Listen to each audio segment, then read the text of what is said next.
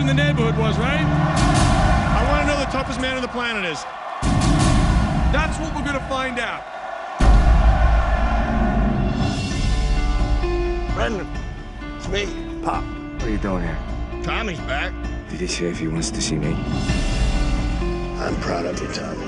What you did for that kid in the tank. What was I supposed to do? Let him drown?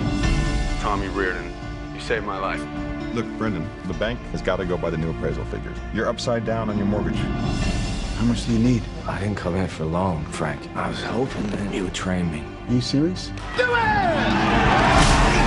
I thought we agreed that we weren't going to raise our children in a family where their father gets beat up for a living. Brendan, you're a teacher. You got no business in the ring with those animals. Actually, I used to be one of those animals.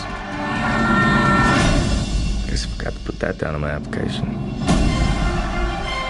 There's this big tournament.